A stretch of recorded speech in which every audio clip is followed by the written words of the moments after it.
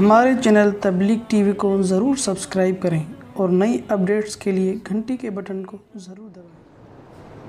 اکیس رمضان، فجر کی نماز میں۔ ابن ملجم شور مچ گیا۔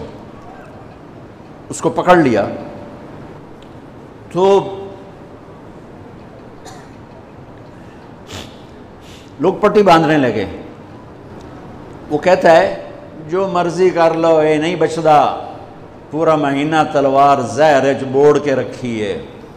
پورا ایک مہینہ تلوار کو زہر میں ڈبو کے رکھا ہے، یہ نہیں بچے گا۔ سننے کے بعد تو آپ فرماتے سر لا دو ادھر، دو ٹوٹے کر دو۔ اب دیکھو، ایک اس نے کائنات کی افضل ترین ہستی کے سر کو پھاڑ کے رکھ دیا۔ انہوں نے موت کا پیالہ پینے تک پہنچا دیا۔ اور ایک اوپر سے یہ کہہ رہا ہے، کوئی ندامت بھی نہیں کہتا ہے یہ نہیں بچنا۔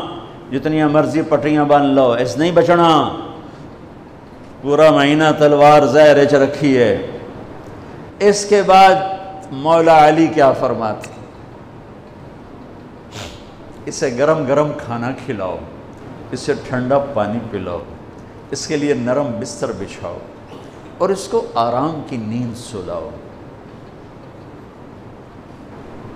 اگر میں زندہ رہا تو میں خود ہی دیکھ لوں گا مجھے کیا کرنا ہے۔ اگر میں شہید ہو گیا تو میری پہلی بات ہے اسے معاف کر دینا۔ اللہ اسے معاف کر دینا۔ واہ مولا علی، واہ۔ اسے معاف کر دینا۔ اور اگر میرے بدلے میں قتل کرنا ہو تو اس کو تکلیف نہ پہنچانا، ایک ہی وار سے قتل کر دینا۔ اللہ اکبر۔ کیا بلندی ہے، کیا کمال ہے۔